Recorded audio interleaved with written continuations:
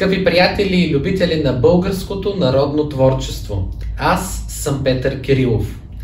На днешният прекрасен празник искам да ви пожелая да бъдете здрави, в душите си да имате доброта и хармония, заедно да носим вярата, надеждата и любовта, за да има мир на земята и разбирателство между човеците.